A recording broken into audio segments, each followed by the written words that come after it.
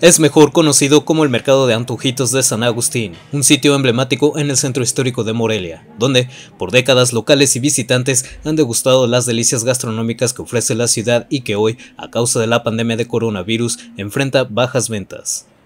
Hasta un 80% han decaído los ingresos de los comerciantes instalados en el mercado Miguel Hidalgo, aledaño al templo de San Agustín respecto del año anterior por la insuficiente afluencia de comensales, el no retorno a clases presenciales y la falta de turistas. Pues mal, mal nos está yendo mal, a veces no vendemos pues no mucho, solamente el puro sábado es que más o menos nos va un poquito mejor, pero está mal todavía. Desde aquí tenemos 32 años laborando. Este, ahora con lo de esto, pues estaban muy malas las ventas y ahora que regresamos, pues hay días buenos y hay días malos y ahí nos lo estamos llevando poco a poco. No, pues ahorita mm, de hace un año están como al 60. Como al 60%. Sí, sí. Como que otro turista, casi no hay este gente de aquí del estado, ¿no?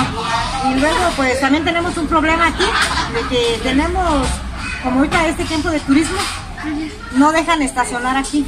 Y todos los turistas están yendo. Pues aquí 25 años más del 20%, 25%. Sí, bien bajo.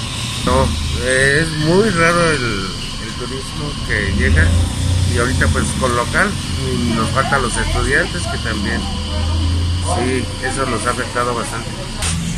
Y pues aguantar esperando a que esto se mejore.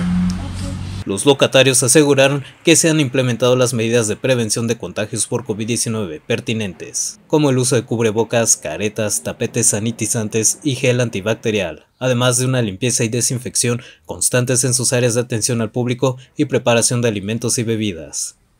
Con imágenes de Daniel Gómez e información de Fátima Alfaro, Agencia Cuadratín.